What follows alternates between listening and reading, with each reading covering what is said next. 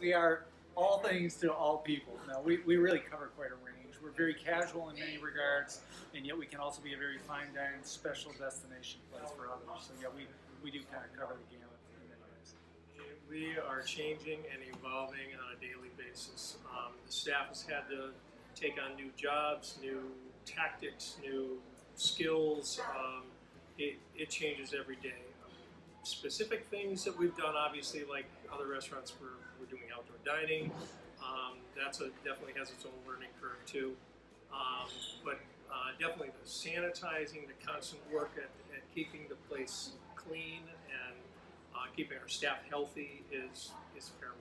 Yeah, and there's no doubt we're doing a huge amount of takeout that we never did in the past, but we're, we're getting really good at it, and with anticipation that, that this may carry through the fall and the winter. Well, CCYP specifically was more, I think, more on a personal level.